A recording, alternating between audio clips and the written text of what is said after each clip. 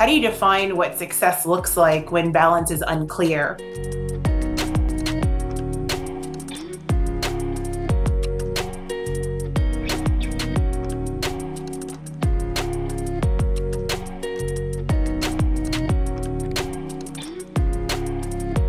Life is very complicated for working moms. There's almost never a time that they feel like they're not on. Most moms, and of course, across the pandemic, this has only gotten worse, feel like if they're not working, they should be doing something with their kids. If they're not doing something with their kids, they should either be working or fixing up the house or doing something family oriented. And the result is that there really is never any balance, never any time that they're not feeling guilty or stressed. And we talk a lot about work life balance, but there's really no such thing. It's more like work life integration. How do you define what success looks like when balance is unclear? So, the guilt, that word, when you said it, I think there's so many moms that I know that definitely resonate with that is a constant in a lot of ways. The guilt for me is Am I giving my husband enough room to go after his career when he's supporting me?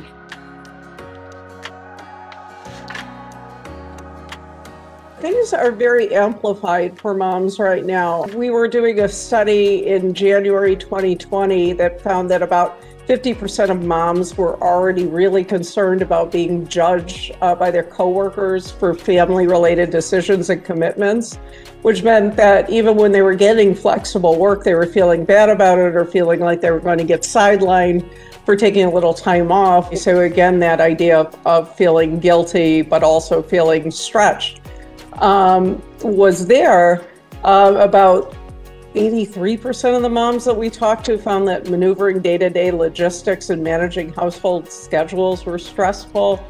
Uh, about three quarters of them found a lack of flexibility and organizational support in the workplace was extremely concerning. And again, when they got it, they didn't have the respect for it. And during the pandemic, that just got worse because a lot of organizations took the tack that, okay, if you can work from home, then you might as well be online. You could be working all the time because look, you know, your kids are there, you can continue working. So there was really no comfortable time to be offline at all. I'm uh, eternal optimist, uh, and I think I've I've chosen to see a lot of the positives over the last year. Um, I, I, think we're in a better position for a couple of reasons. Uh, number one, I do think we have leveled the playing field with regards to how much can be done, whether you know you're physically together versus separated, and how much you can balance within a day.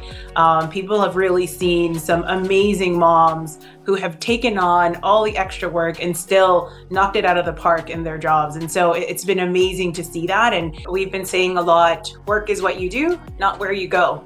And yeah. that's changed um, also how managers measure um, the value and the impact of an employee because it's no longer about literally watching them be in an office and sit at their desk and do their job. Uh, and with that, I think comes a ton of new opportunity uh, to design your life the way you want to for the for folks who are able to have uh, that kind of supportive environment. Uh, I also think there's a lot of um, self reflection on what's really important to me, and maybe conversations that people were uncomfortable with uh, a year ago, they are very comfortable having now on you know what's important and what it takes for them to stay. Uh, I think the other part is I heard from many moms that they love the fact that they literally were able to see their kids throughout the day. That was something that they may have never imagined or experienced before. Yeah, absolutely. And and what you say is really reflected in a study that we did at the end of 2020. We did something called the silver lining study. And I think it was in part because of our own exhaustion and depression with the pandemic. We just wanted to see, you know, what were people really feeling good about. And um, really about three quarters of moms reported that being able to change their work hours throughout the day really helped them support their home life.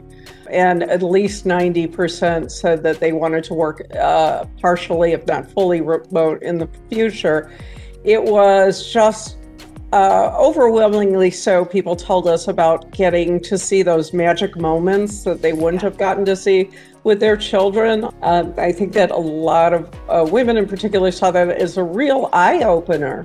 yes, they wanted to have their careers, but no, they didn't want to miss these moments with their children. And it was very heartening in that way that it really helped give them a sense of what's important to them in their lives. And, and that was magic. I got to enjoy a bunch of family life stuff while still doing my job. And that to me is something that now is going to be very difficult to walk away from is that I could literally work from anywhere and it doesn't matter. And I, you know, was held accountable to results, not necessarily just being in an office.